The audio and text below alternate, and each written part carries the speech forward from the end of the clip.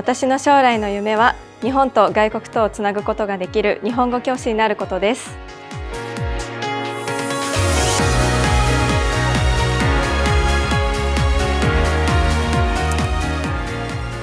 異文化コミュニケーション日本語メジャーでは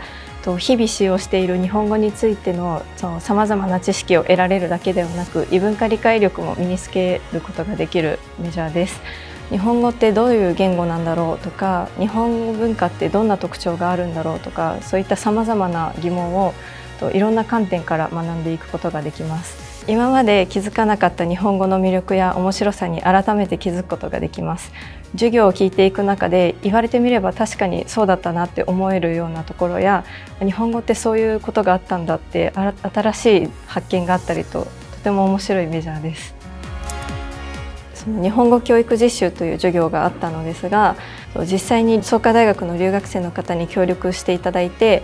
教師としてグループに分かれて留学生の方々に日本語を教えてみてその自分自身でその新たな学びを得たりとかこういうふうに工夫するとより良くなるとかそういった発見をすることができる授業がありました。日本人に何かを教えるのとは違って外国の方は日本語をうまく話せないことがあるので外国の方に教える独自のその難しさというものを痛感しました。